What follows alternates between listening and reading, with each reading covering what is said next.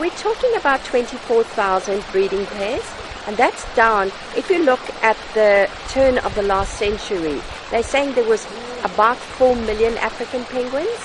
Um, the steep decline had a lot to do with historic um, issues. Things like uh, the fact that we harvested the guano, um, the fact that we harvested eggs. Um, they say they, all these things have an impact.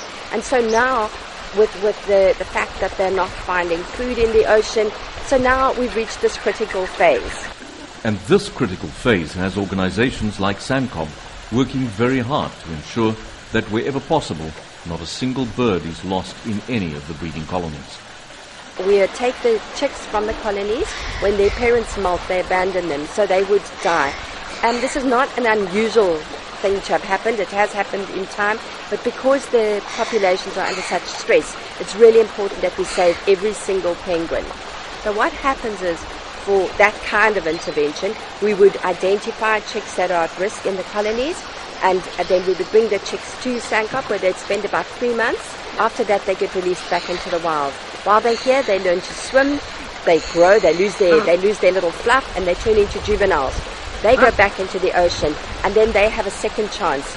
And this second chance is what SANCCOB hopes will keep on boosting the numbers of penguins out in the wild. The more penguins out there, the more will breed, and with luck start a turnaround with numbers increasing again. SANCCOB works with all seabirds, and an ever-present threat is an oil spill. We work with seabirds, so our numbers would be about a thousand seabirds and a thousand um, African penguins. That's in a non-spill year. We speak about spill years and then non-spill years.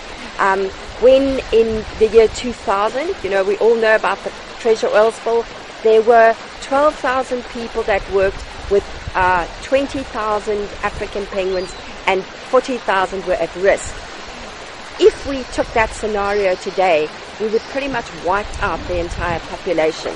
With an oil spill threat always present, it becomes very clear how important it really is to save individual penguins, as the survival of each individual bird has riding on them the survival of the species.